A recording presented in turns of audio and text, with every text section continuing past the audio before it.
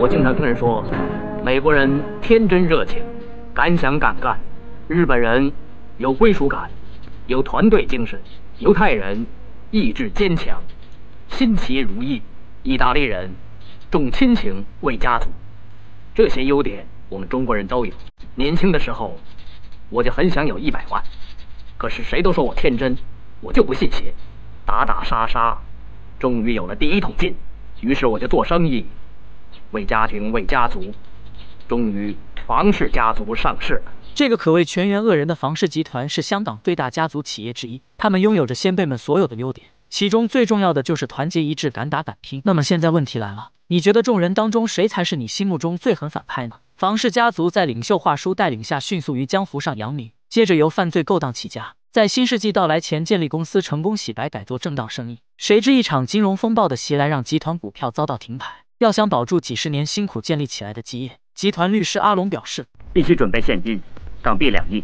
公司资金早被银行冻结，短时间内又到哪去筹够两亿现金呢？就在华叔一筹莫展之际，一位远道而来的客人解了他的燃眉之急。此人便是哥伦比亚最大毒枭卡尔。数月前，卡尔的生意受到重大打击，先是一批毒资在日本被查，遭到银行冻结。接着，公司内的制毒专家又在菲律宾落网。最要命的是，制毒的药品样本和配方光碟前几天又被大陆警方破获。卡尔表示，只要房氏集团能帮他弄回这三件东西，便奉上两亿现金。虽然这几件事都有一定难度，但公司眼下窘境已容不得华叔迟疑。两位大佬一拍即合，达成协议，详细了解了卡尔交代的任务。华叔决定先从最简单的着手，一个是抢回日本银行的毒资，另一个便是解救制毒专家。因为相比起大陆公安，日本与菲律宾警方明显好对付得多。而华叔家中有两个儿子，一位是靠头脑做事的乌鸦，一位是偏爱好勇斗狠的阿光。考虑到菲律宾警方的无能，解救制毒专家的差事交给阿光来做最合适不过。后者接到任务，带了几名小弟远赴菲律宾，观察到了押解制毒专家的警察行程，半途持枪直接杀出。面对阿光等人的火力压制，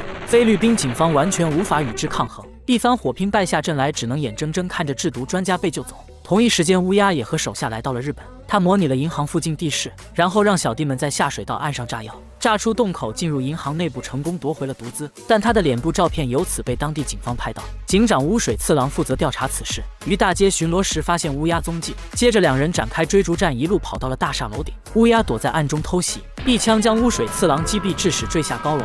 就这样，乌鸦与阿光顺利完成了各自的任务。接下来，卡尔交代的事便只有样本和光碟这一项了。但大陆公安不比其他两国警方，要想从对方手中抢回东西，可谓难比登天。华叔必须想好万全之策，才敢进行下一步计划。与此同时，乌鸦与阿光犯下的案子被日本与菲律宾两国警方高度重视，查到匪徒来自香港的房氏集团。日菲高层随即与大陆警方联系，派出各自国内最好的警探奔赴大陆协同调查。而香港警方这边也派出了探员小梁予以配合。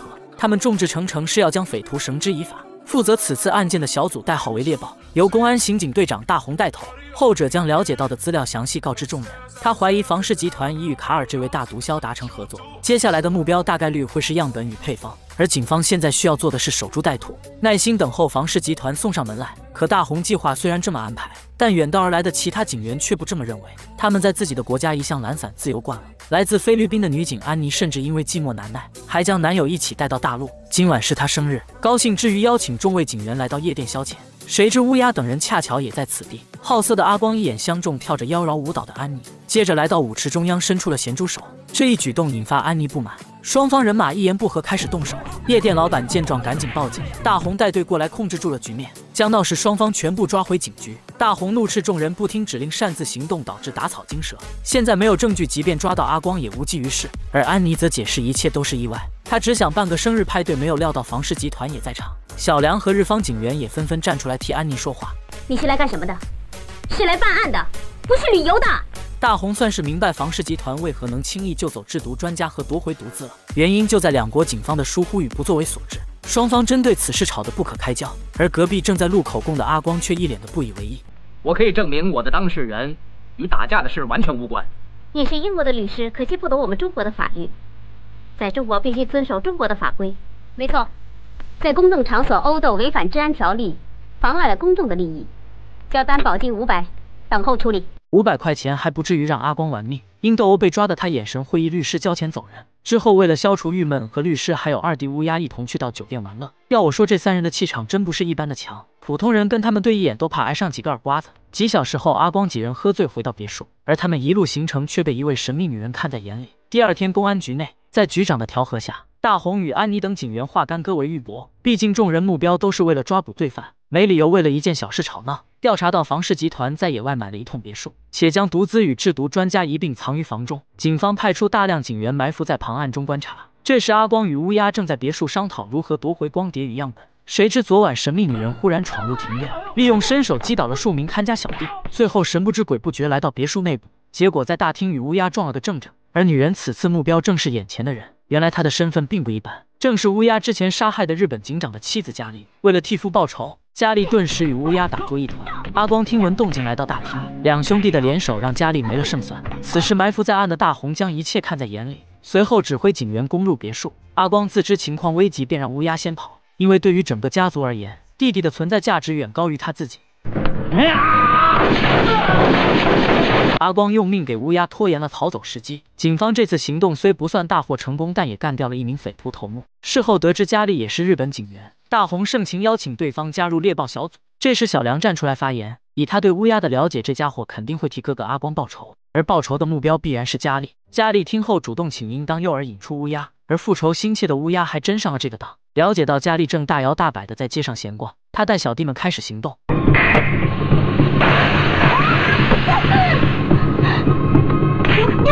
原来乌鸦早就知道附近埋伏着多位警员，所以利用此计将其弄上公交车。但他千算万算却没算到佳丽的高超战斗力。女人在公交车内以一敌众，竟然丝毫不落下风。乌鸦等人久久不能将其拿下，结果在路上最终被警方拦下，遭到逮捕。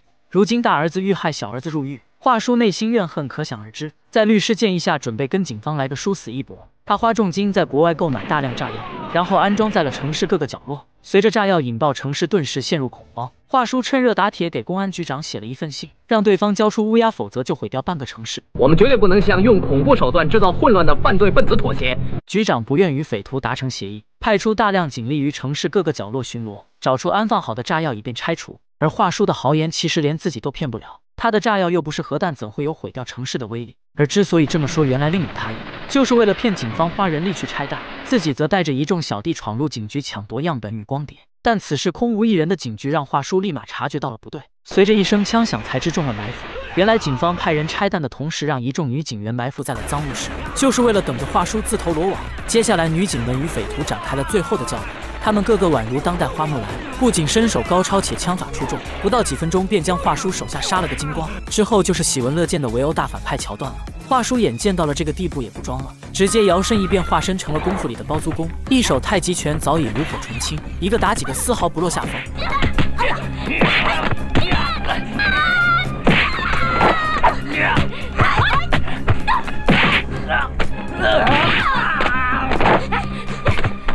随着华叔倒下，整个房氏集团宣告覆灭。